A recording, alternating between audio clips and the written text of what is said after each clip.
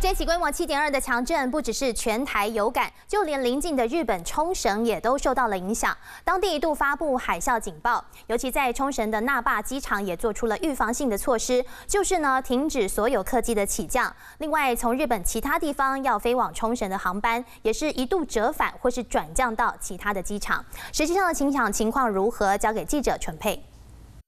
好的，直播观众，台湾稍早发生规模 七点二的地震，不只是各地灾情严重，日本气象厅也因为冲绳等地方有观测到震度四，所以发布了海啸警报。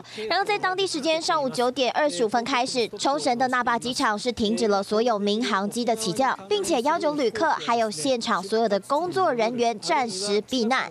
那画面上可以看到呢，有很多的旅客是在机场大厅等待，包含了全日空还有日本航空等等，都宣布原本是飞往。那霸、石垣岛、宫古岛这些地方的航班都全部折返，或者是改成降落在其他的机场。另外呢，在仙台的机场也宣布受到地震影响，飞往冲绳的航班确定停止办理搭机手续。那目前日本冲绳那霸机场发言人表示，机场目前是处于暂停营运的状况，由于预计会发生海啸，才会做出预防性的措施，只会允许自卫队或者是海上的保安厅的航班起降。以上是地震相关。最新资讯，把时间交还给彭内。